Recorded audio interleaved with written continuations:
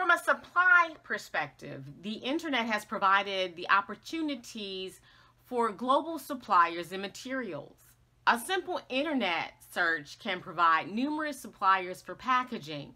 Um, prior to the internet, options were reserved to a phone call to a local or regional supplier. The internet has also provided a huge plethora of research for creative solutions to packaging challenges.